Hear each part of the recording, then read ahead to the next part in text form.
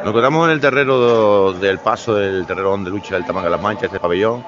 Eh, Carlos Noa, que mañana va, a ser partícipe de, ese campeonato por pesos. Carlos, eh, primero eh, háblanos de, lo que va a ser ese campeonato en el terreno Santiago García Ceja, de Capital Palmera, del terreno de Benoares. Buenas tardes, Fran.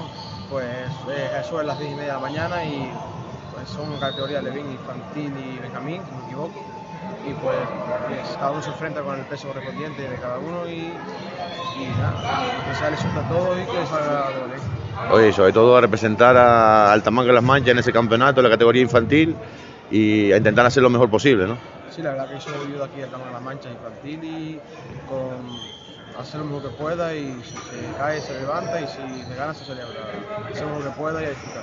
Oye, Carlos, de menuda temporada este año con las lesiones, pero ya está nuevamente de vuelta a los terreros, ¿no? Y, a intentar poco a poco eh, volviendo a coger la tónica, ¿no? Sí, la verdad que este año he tenido una suerte y, pues ahora puedo correr, empezando a correr el, ruedo que me cuesta un montón y empezando a entrenar otra vez más duro que nunca y muchas dificultades porque me cuesta coger mucho la forma, pero aprendí no entrar en el plan. Oye, hoy dos victorias aquí en la cadete y en la juvenil contra el San Blas. Eh, el equipo se ha mostrado también muy, muy de mucha calidad arriba, eh, con los destacados, con, eh, sobre todo en la cadeta, haciendo también una buena lucha con 33-3, aquí con este marcador de 12-4 y creo que es un punto y seguido para seguir trabajando en la competición de la Copa Cabildo. ¿no? Sí, la verdad que nosotros los objetivos que tenemos es meternos en esa final, en las dos categorías si no se puede, pues nada, pero vamos a darlo todo para eso, para eso entrenamos día a día y estamos todos unidos que se ganan Líder del grupo, el equipo de las manchas, ¿no? Que líder en solitario.